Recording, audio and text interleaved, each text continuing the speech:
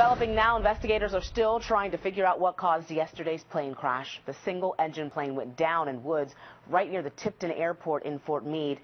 That crash injured two men ages 57 and 82.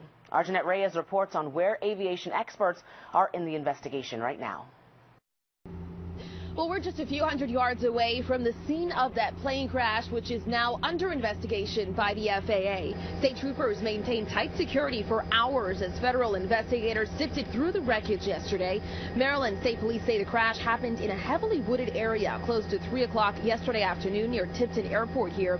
Two men, ages 57 and 82, were trapped inside of that plane, which was upside down for quite some time. It took about an hour to extricate them. They were taken to the hospital with serious but non-life-threatening injuries. Now, we just checked in with the National Transportation and Safety Board. It says it will work with the FAA to analyze any evidence collected. Meanwhile, airport authorities tell us that plane will likely stay on the scene there for quite some time because of the difficulty in retrieving it, but that investigation is ongoing this noon. Reporting in Anne Arundel County, Jeanette Reyes, ABC 7 News.